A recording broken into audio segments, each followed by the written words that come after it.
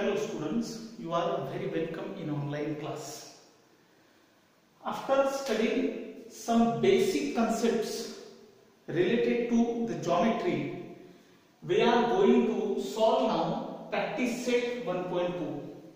हा practice set मी तुम्हाला आधीच सोडवायला सांगितलेला होता त्यामध्ये जर काही अडचणी असतील तर त्या तुम्हाला यामधून दुरुस्त करून घ्यायच्या आहेत नोटबुक मध्ये व्यवस्थित हे सगळं तुमच्या जवळ असायला पाहिजे एक गोष्ट लक्षात घ्या की यापुढे आता मोठे व्हिडिओ म्हणजे जास्त लेंथ असणारे व्हिडिओ पाहण्याची सवय ठेवा.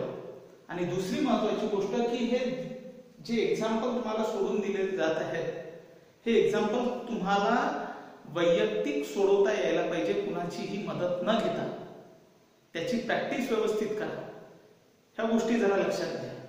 आपण practice set one point two मधला क्वेश्चन नंबर वन पहा म्हटलेलं आहे त्या क्वेश्चनमध्ये म्हटलेलं आहे the following table shows points on a number line and their coordinates म्हणजे खाली एक टेबल दिलेला आहे.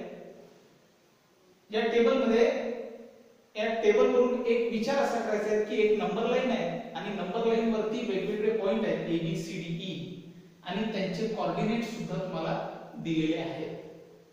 तर प्रश्न विचारलाय की decide whether the pair of segments given below the table are congruent or not हे जे टेबलच्या खाली दिलेल्या सेगमेंटची जी पेअर दिलेली आहे तशी ही एक पेअर दिलेली आहे सेगमेंट डीई आणि सेगमेंट एबी तर ह्या दोन सेगमेंट कॉन्ग्रुएंट आहेत की नाही आहे? हे ठरवायचं आहे तसंच इथे दुसरी पेअर दिलेली आहे इथे तिसरी पेअर दिलेली आहे. मग आता सेगमेंट कधी कॉन्ग्रुएंट असतात हे आपण शिकलेलो आहोत. जर दोन सेगमेंटच्या लेंथ सारख्या असतील तरच त्या सेगमेंट या कॉन्ग्रुएंट असतात. मग पहिल्यांदा आपल्याला सेगमेंट डीई ची लेंथ आणि एबी ची लेंथ काढावी लागेल. त्यासाठी आपल्याला कॉर्डिनेट्स वगैरे दिलेले आहेत. मग आपण सगळ्यात आधी एक्झाम्पल सोडवायला घेऊ सेगमेंट डीई मध्ये आपण लेंथ ऑफ डीई म्हणून लेंथ ऑफ डीई आपल्याला टाकायचं आता लेंथ ऑफ डीई म्हणजे डी चा आणि ई चा आपल्याला या ठिकाणी दिलेला आहे. आपल्याला माहिती आहे की ज्यावेळेस असे कॉर्डिनेट्स दिलेले असतात त्यावेळी आपण लेंथ कशी काढत असतो? तर मोठा जो कॉर्डिनेट आहे त्यामधून छोटा कॉर्डिनेट हा मायनस करावा लागतो. म्हणजेच लेंथ ऑफ डी डी चा कॉर्डिनेट्स मायनस सेवन ई चा कॉर्डिनेट्स नाईन यामध्ये मायनस सेवन आणि नाईन मध्ये बिगर सेगमेंट ही नाईन आहे आणि smaller segment sorry bigger number हा नाईन आहे आणि स्मॉलर नंबर हा मायनस सेवन आहे. मग मोठ्या नंबर मधून छोटा नंबर हा मायनस करायचा. मोठ्या कॉर्डिनेट मधून छोटा कॉर्डिनेट हा मायनस करायचा म्हणजेच आपण या seven is equal to nine plus seven is equal to nine plus seven अर्थातच sixteen length of D E तुम्हाला जी आहे सिक्स्टीन याच पद्धतीने याच पद्धतीने आपण लेंथ ऑफ़ एबी सुद्धा काढू शकतो length of A B is equal to A चा कोऑर्डिनेट मायनस थ्री बी चा कोऑर्डिनेट फाईव्ह आहे बिगर नंबर फाईव्ह आहे स्मॉलर नंबर मायनस थ्री मग आता five minus minus three is equal to five minus into minus plus three is equal to eight length of A B तुम्हाला मिळत आहे length of D sixteen आहे length of A B eight आहे दोन्ही सेगमेंटची length ही सारखी नाही आहे. म्हणजेच आपण असं म्हणू शकतो की या ठिकाणी length of D E is not equal to length of A B D E ची आणि एबी ची लेंथ ही इक्वल नाही आहे. मग जर लेंथ इक्वल नाही आहे, तर सेगमेंट डी आणि सेगमेंट ए बी ह्या कॉन्ग्रुएंट नाही आहेत म्हणजे आपण असं म्हणू therefore, segment DE is not congruent, is not congruent to segment A. या पद्धतीने आपण एक्झाम्पल सोडू शकतो तेच आपल्याला विचारलं होतं की सेगमेंट हे कॉन्ग्रुएंट आहेत की नाही पेअर जी दिलेली आहे ते कॉन्ग्रुएंट आहेत की नाही आहेत एवढंच आपल्याला ठरवायचं दुसरं एक्झाम्पल सेगमेंट आपल्याला लेंथ ऑफ़ BC काढावी लागेल. Length of BC is equal to B चा कोऑर्डिनेट 5 C चा कोऑर्डिनेट 2 बिगर कोऑर्डिनेट 5 आहे स्मॉलर कोऑर्डिनेट 2 आहे मग आपण समजू 5 minus 2 is equal to 3 therefore length of BC ती आपल्याला मिळालेली आहे लेंथ दॅन थ्री त्यानंतर segment A D length of A D आपण length of A D is equal to A चे कॉर्डिनेट्स मायनस थ्री डी चा coordinates minus seven bigger coordinate minus three असेल आणि स्मॉलर कॉर्डिनेट हा minus seven असेल हे आता तुम्हाला माहिती आहे. मग minus three minus minus seven is equal to minus three plus seven is equal to minus three plus seven seven मधून थ्री गए तर फोर आहे. Plus four length of A D is equal to four इधे सुद्धा BC ची length 3 आहे AD ची length 4 आहे दोघांचे लेंथ इक्वल नाही आहेत म्हणून आपण असं म्हणू length of BC is not equal to length of AD दोघांच्याही लेंथ इक्वल नाही आहे, याचाच अर्थ दोन्ही सेगमेंट कॉन्ग्रुएंट नाही आहेत म्हणजे आपण असं म्हणू, therefore, segment BC is not congruent to not congruent to segment A. Third example.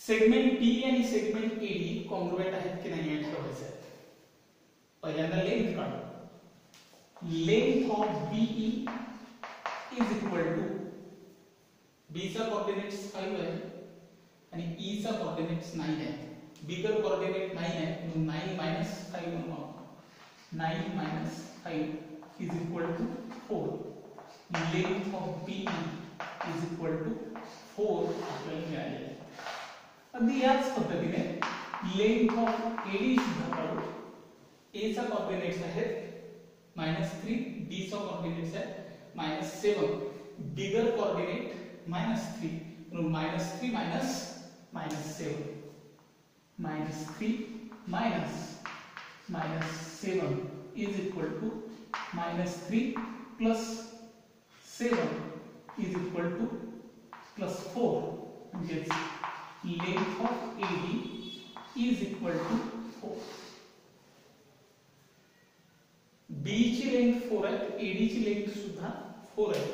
म्हणजे आपण या ठिकाणी असं म्हणू length of is equal to length of AD दोघांचेही लेंथ ह्या इक्वल आहेत दोघांची लेंथ जर इक्वल आहे, तर आपल्याला कॉन्ग्रुएन्सी असं सांगते की दोन्ही सेगमेंट सुद्धा काय असतील?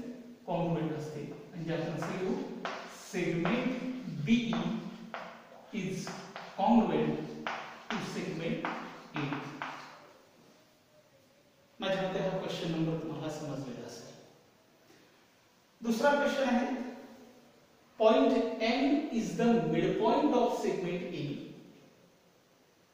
if AB is equal to 8 find the length of AM अगदी तोंडी आपल्याला उत्तर येतं म्हटलेलं आहे की एक सेगमेंट आहे एबी या ठिकाणी फिगर काढली तर अधिक सोयीचं जाईल एक्झाम्पल सोडायला ही सेगमेंट एबी आहे एबीचा मिड पॉइंट एम आहे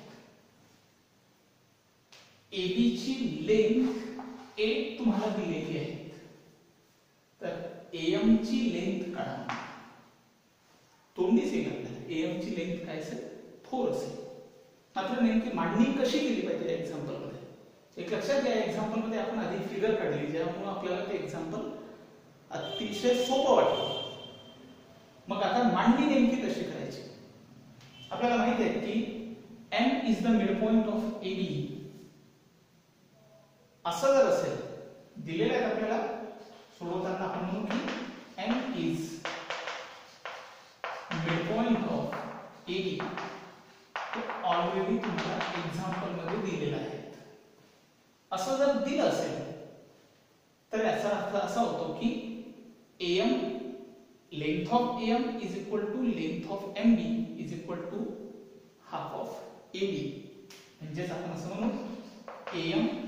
is equal to M B M ची आणि एम बी ची लेंथ सारखी असेल आणि तेवढीच ए बी च्या अर्धी असेल. Is equal to half of A ज्यामध्ये तुम्हाला एम ची लेंथ काढून दाखवायची आहे. ए बी ची लेंथ दिलेली आहे. एम चं काहीच काम नाही आहे त्यामुळं त्याला आपण फ्रीज करू.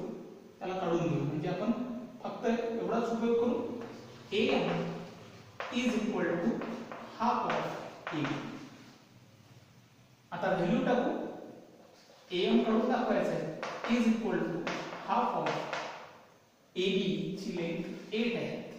म्हणजेच आपण सोडवताना असं म्हणू की A M is equal to two one सा टू टू फोर म्हणजे A M is equal to one into four हो. फोर एम ची लेंथ आपल्याला मिळेल M is equal to four असाच क्वेश्चन नंबर थ्री सुद्धा तुम्हाला सहज सोडवता येईल. इथं म्हटलं की point P is the mid point of segment C D म्हणजे एक सेगमेंट सी आहे. मी पुन्हा फिगर काढतोय. सेगमेंट सी सेगमेंट सी चा मिड पॉइंट आहे. पी जे ऑलरेडी तुम्हाला दिलेलं आहेत पुढे म्हटलंय if C P is equal to two point five C P ची लेंथ किती दिलेली आहे तुम्हाला?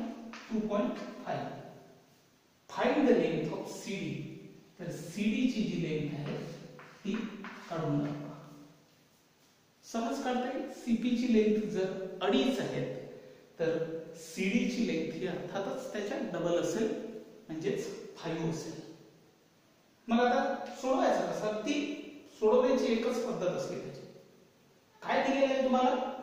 P is the mid point of C D already दिलेलं आहे एक्झाम्पलमध्ये. P is mid point of C D दिलेलं आहे. असं जर दिलं असेल एखाद्या एक्झाम्पलमध्ये तरच आपण काय म्हणू शकतो? C P is equal to PD is equal to half of CD काय म्हणू आपण CP is equal to PD is equal to half of. CP चं काम आहे आपल्याला PD चा काही संबंध नाही आहे त्याला फ्रीज करू। हाफ़ ऑफ़ CD चं काम आहे CP ची लेंथ दिलेली आहे आपण आधी फॉर्म्युला लिहू is is to half half C D एवढ्याच बाबीचं आपल्याला काम आहे. ही जी मधली टर्म होती तिचं काम नाही आहे. त्यामुळे तिला आपण फ्रीज केलं वगळून टाकलं. आता C P is equal to half of C D C P ची व्हॅल्यू टाकू. Two point five is equal to half of half of C D काढून दाखवायचं ते जसंच्या तसंच लिहिलंय फक्त सीपीची व्हॅल्यू टाकली. आता टू पॉइंट फाईव्ह हाफ़ म्हणजे डिवाइड डिव्हिजनला टू आहे, जे डिव्हिजनला आहे, या बाजूला आल्यानंतर ते multiplication line into two is equal to one into C D राहिलं म्हणजेच C D two point five into two बरोबर five is equal to C D length of C D is equal to five मिळाला. या पद्धतीने आपण question number three सुद्धा सोडवला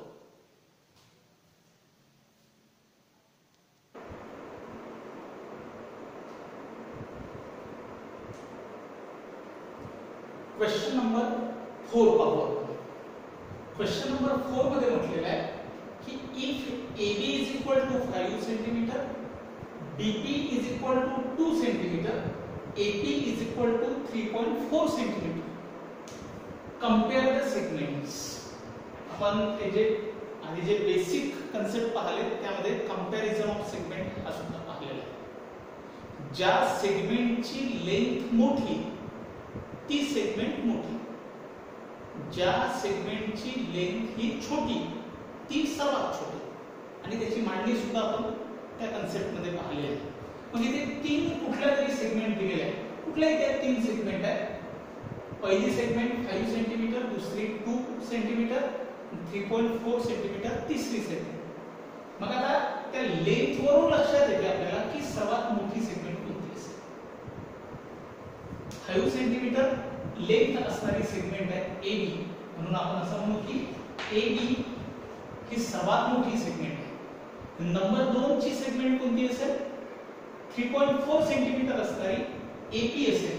म्हणून तिला आपण एपी ही नंबर दोन ची सेगमेंट म्हणजे A B he greater A B is greater than A P and A P is also greater than सगळ्यात छोटी कोणती सेगमेंट आहे दोन सेंटीमीटरची म्हणजेच बी हे झालं त्या तीनही सेगमेंटचं comparison very simple AB is greater than AP is greater than BP ही ही सर्वात मोठी सेगमेंट त्यानंतर छोटी आणि ही सर्वात छोटी सेगमेंट हेच आपल्याला दुसऱ्या पद्धतीने सुद्धा मांडता येतं उलटा करावं लागेल.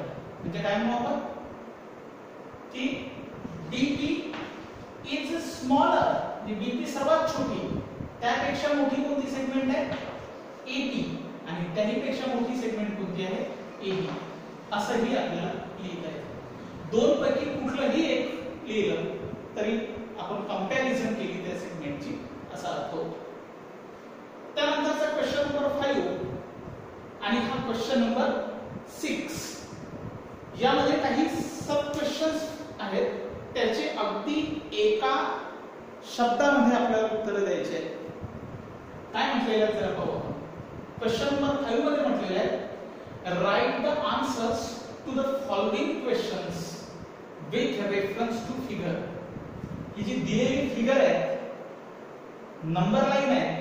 या नंबर लाईनचा वापर करून तुम्हाला खालील प्रश्नांची उत्तर द्यायची पहिला प्रश्न म्हटलेला आहे की write the name of opposite ray of ray RP आता इथे तुम्हाला रे आरपी दिसतो आहे.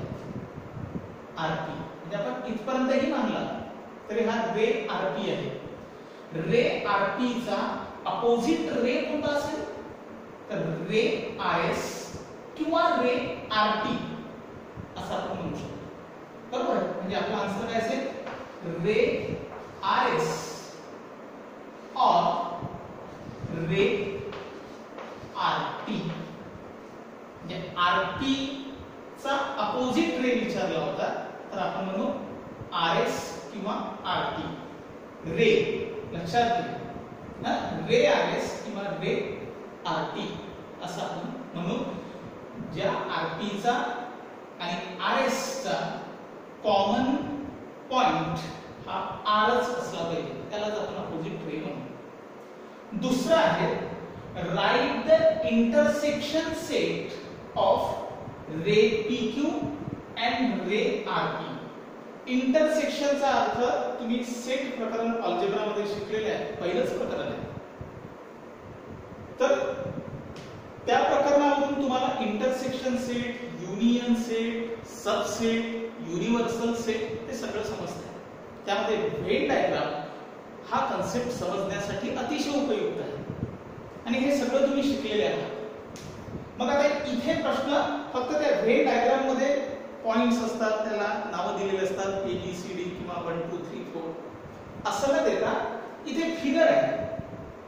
आणि या फिगरमध्ये आपल्याला तो कन्सेप्ट वापरायचा आहे सेटचा काय म्हटले आहे? की write the intersection set of ray P Q and ray R P ray PQ आणि रे आरपीचं इंटरसेक्शन सेट इंटरसेक्शनमध्ये फक्त कॉमन असणाऱ्याच गोष्टी येतात. बरोबर आहे? कॉमन पॉइंटच येतात मग आता मला सांगा ही जी लाईन आहे ही या लाईन वरती बरेच पॉइंट आहेत. हजारो लाखो पॉइंट आहेत बरोबर आहे? त्यापैकी फक्त one two three four five five पॉईंट्सचीच आपल्याला नावं दिलेली आहे लक्षात घ्या आणि आता प्रश्न विचारलेला आहे की write the intersection set of ray P Q पहिल्यांदा रे पी क्यू पहा. रे पी क्यू म्हणजे हा अख्खा रेस आहे.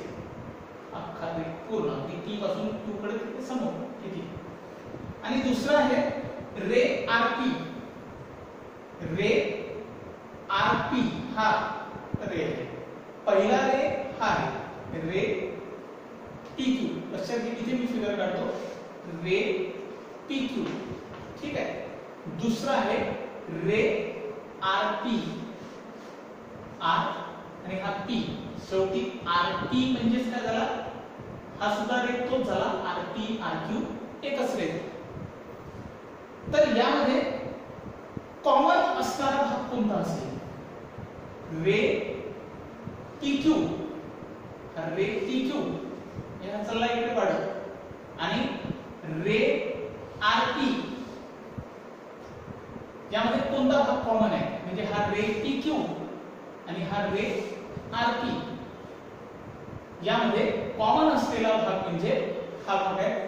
म्हणजे अख्खा रे टी क्यू हाच कॉमन येतो बरोबर आहे?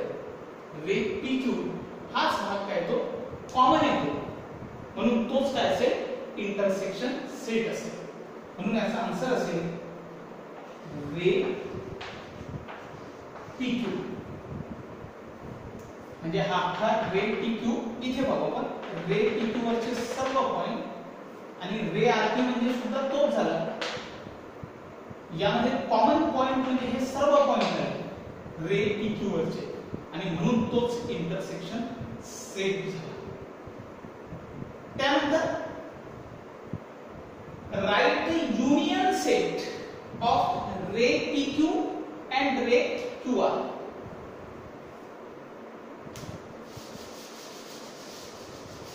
लक्ष द्या. रे पी क्यू आणि रे क्यू आर पहा पहिल्यांदा. हा रे पी क्यू आहे ठीक आहे?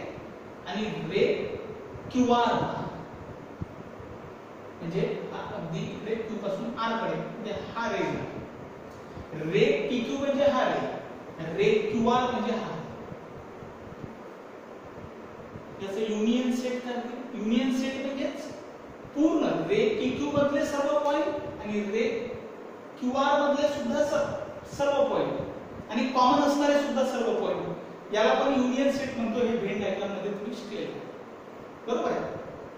मग आता रे पी क्यू म्हणजे इकडले सर्व पॉइंट आणि रे क्यू आर म्हणजे इकडले सर्व पॉइंट म्हणजे अख्खा युनियन सेट काय होईल? तर पूर्ण लाईन पी क्यू ही काय असेल? युनियन सेट असेल. म्हणून आपण काय म्हणू? लाईन पूर्ण ही लाईन पी क्यू ही काय असेल युनियन सेट असेल त्यानंतर take the rays of which segment QR is a subset? आता इथे रेचा संबंध नाही आहे इथे सेगमेंट म्हटलेलं आहे सेगमेंट आणि रे मध्ये फरक आहे सेगमेंट क्यू आर पहा पहिल्यांदा क्यू आर ही सेगमेंट अगदी क्यू पासून सुरुवात झाली म्हणजे सर्व पॉइंट आर पर्यंत बस इथून एवढी एवढा भाग म्हणजे सेगमेंट क्यू आर मग हा सेगमेंट क्यू आर सबसेट असेल असा रेस काय म्हटलेलं की सेगमेंट क्यू आर हा सबसेट असेल असा rays Sanga state the rays of which segment Q R is a subset म्हणजे सेगमेंट क्यू आर हा सबसेट असेल छोटा सेट असेल, मोठ्या सेटचा. तर असा एक मोठा सेट रेसच्या स्वरूपामध्ये सांगा की ज्याचा सबसेट हा क्यू आर असेल. सबसेट क्यू आर येण्यासाठी रे कोणता घेऊ शकतो आपण? अख्खा रे आर क्यू घेऊ शकतो. रे एस क्यू सुद्धा घेऊ शकतो. त्याचा सबसेट पहा क्यू आहे सेगमेंट क्यू आहे रे आर क्यू घेतला तरी त्याचा सबसेट हा सेगमेंट क्यू आहे. म्हणून आपण या ठिकाणी घेऊ रे आर क्यू किंवा रे रे एस क्यू. दोनच लिहू आपण. आता बऱ्याच आन्सर मिळतात आपल्याला. वे R2 सा सबसेट सेगमेंट QR से रे QR इकडे जर आपण हा अख्खा रे QR घेतला, तरी त्याचा सुद्धा सबसेट फक्त सेगमेंट QR से सेगमेंट QR से से रे SQ रे TQ हे आपण सगळे आंसर लिहू शकतो. त्यानंतरचा पाचवा प्रश्न आहे. Write the pair of opposite rays opposite रेजची pair लिहा with common end point R common end point R असेल तर एक अपोजिट रेची पेअर लिहा मग आपण काय म्हणू? रे आर टी आणि रे आर एस. दोन्ही रेचा कॉमन एंड पॉइंट आर आहे आणि दोन्ही रे एकमेकांचे अपोजिट रे आहे. म्हणजे आपण म्हणू इथे ray ray R P and ray R S ray R S पुढे प्रश्न विचारलाय write any two rays with common end point S common end point S असला पाहिजे. असे कोणतेही दोन रेज लिहा कोणतेही लिहू शकतो एंड पॉइंट फक्त त्या रेचा एस असला पाहिजे. रे एस आर घेऊ शकतो आपण आणि रे एस टी घेऊ शकतो रे एस आर म्हणजे एस पासून सुरुवात व्हायला पाहिजे ray ray S P ray S Q ही लिहू शकतो रे एस टी सुद्धा लिहू शकतो कोणतेही रेज घ्या ज्याची सुरुवात एस वरून होईल म्हणजे ज्या रेचा एंड पॉइंट हा एस असेल सुरुवात त्याची एस वरून होईल इथे म्हटलेलं आहे write intersection set write the intersection set of ray S P and ray S T ray S P ठीक आहे म्हणजे हा रे झाला पूर्ण रे रे एस पी आणि रे एस टी याचा इंटरसेक्शन सेट लिहायचा आहे. म्हणजे फक्त कॉमन असलेला लिहायचा आहे. मला सांगा हा रे एस पी आहे? आणि रे एस टी आहे त्याचा फक्त कॉमन पॉइंट कॉमन असलेला भाग कोणता असेल? फक्त पॉइंट एस म्हणून इंटरसेक्शन सेट असेल फक्त पॉइंट एस त्यानंतर क्वेश्चन नंबर सिक्स पाहू. आणि क्वेश्चन नंबर सिक्ससाठी आपल्याला ही फिगर दिलेली आहे. इथे सुद्धा असेच क्वेश्चन विचारलेले आहे आणि या प्रश्नाचे उत्तर द्यायचे म्हटले ते पहिल्यांदा नंबर लाईन व्यवस्थित समजून घ्या. ओरिजिन झिरो आहे. त्याचं नाव मात्र ए दिलेलं आहे. नंतर इथे टू आहे इथे फोर आहे इथे six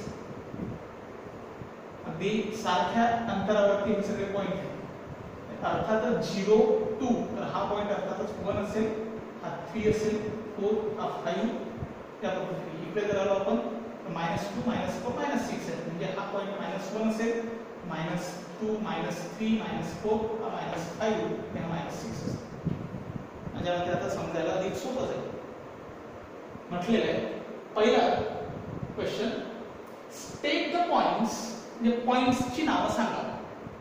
Which are equidistant from the point D हा पॉइंट डी पासून सारख्या अंतरावरती असणाऱ्या पॉइंटची नावं सांगा।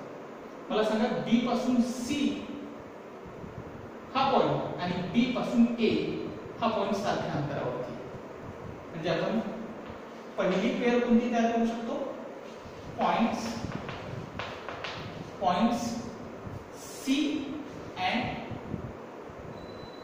C B पासून सी बी पासून A C and A are equidistant from point B B पासून सारख्या अंतरावरती सी आहे आणि तेवढ्याच अंतरावरती ए सुद्धा ही एक पेअर झाली दुसरी पण पेअर लिहू शकतो आपण पावर बी पासून सारख्या अंतरावरती असणारा डी पॉइंट आहे वन टू थ्री फोर आणि इकडे आता one two three four P सुद्धा पॉइंट आहे म्हणजे point D and point T both the points are equidistant from point D म्हणून दुसरी पेअर आपल्याला मिळेल पॉइंट्स डी अँड पी दुसरं एक्झाम्पल इथे सुद्धा तसंच म्हटलेलं आहे. मात्र म्हटलेलं आहे की एकच pair Sanga write a pair of points equidistant from point Q point Q दिसतोय. पॉइंट क्यू पासून सारख्या अंतरावरती असणारे एकच पेअर लिहा. आपण काय घेऊ point L and point Q दुसरी पेअर मिळते आपल्याला point P and point R पहिली पेअर मिळेल एल अँड यू दुसरी पेअर मिळेल पी अँड आर एकच पेअर लिहू कोणती points points U and L तिसरा प्रश्न माझ्या मते तुम्हाला सर्वांना सोडवता येतो म्हटलेलं आहे find the distance U V U व्हीचं distance काय यू दिसतंय यूचा कॉर्डिनेट मायनस फाईव्ह आहे आणि व्हीचा कॉर्डिनेट हा फाईव्ह आहे. यूचा कॉर्डिनेट आहे व्हीचा कॉर्डिनेट आहे. तुम्ही बिगर कॉर्डिनेट मधून स्मॉलर कॉर्डिनेटला मायनस करूनही आन्सर करू शकता. किंवा नंबर लाईन दिली असल्यामुळे तुम्ही डायरेक्ट मोजू शकता. यू पासून व्ही पर्यंत चला मोजत. One unit two three four five six seven eight nine ten तो ten units distance of U V direct लिहू आपण टेन युनिट्स म्हणजे इथे आपण कॉर्डिनेट्सचा तो फॉर्म्युला वगैरे वापरला नाही. नंबर लाईन दिलं असल्यामुळे डायरेक्ट आन्सर दुसरं विचारलेलं आहे distance of T C T C चला मोजत हैं वन युनिट एवढं